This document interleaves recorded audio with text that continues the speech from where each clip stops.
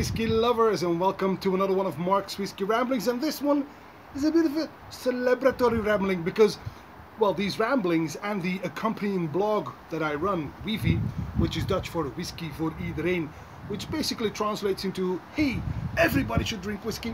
Uh, I'm celebrating 10 years. Now, obviously, I cannot let this pass without a special whiskey. So I went on the lookout for a special whiskey together with Nick and Ilse, who are my co-conspirators in, in Whivie.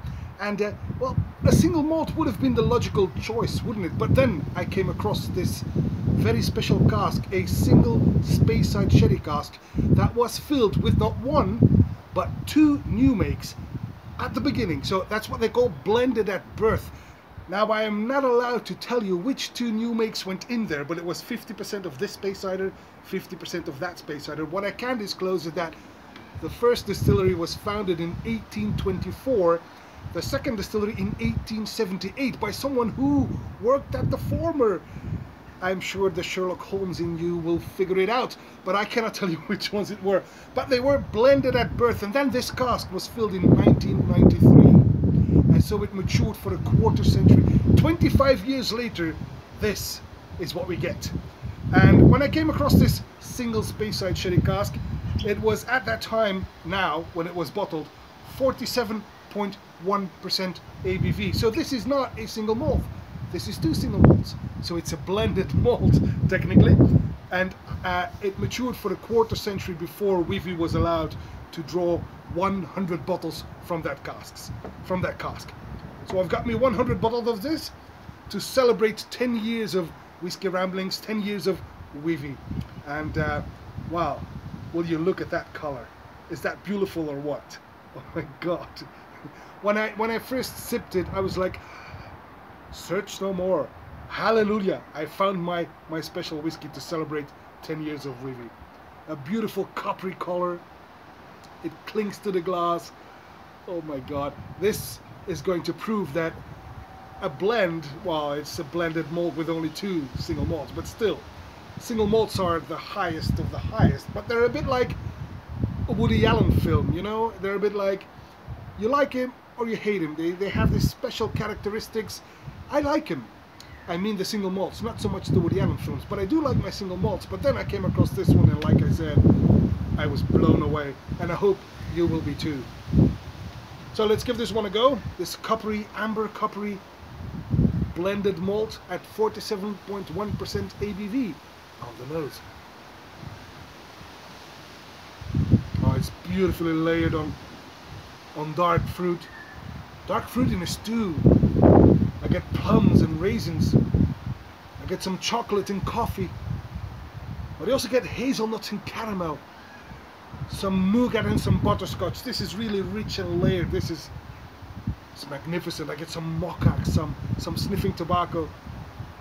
And it's nicely seasoned with a bit of nutmeg, a bit of cloves, some black pepper maybe, some eucalyptus and camphor. This is really a broad nose. This is very complex in my opinion. It's simply stunning. Wow. On the palate.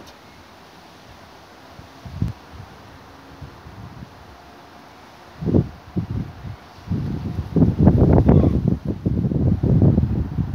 quite a sturdy arrival still. Very spicy as well. It's spicy and honey sweet on, on those same dark fruits, but it's a dark marmalade now. And it's joined by a bitter note from Seville oranges, a bit of tannins from the oak, some leathery notes. But I also get some, some toasted oak and, and some, some, some honey to soften things up. There's a candy-like hint in the back. And some cinnamon appears. Oh, it's and some licorice as well. This is really, it's so well balanced, you know. It's got it's got all these fruity, dark fruity notes, but some honey as well, and then some spices and some some leathery notes. But it's very well balanced, and there's, even though it's only 47.1% ABV, it's certainly got some punch to it. Beautiful whiskey. Wow. On the finish.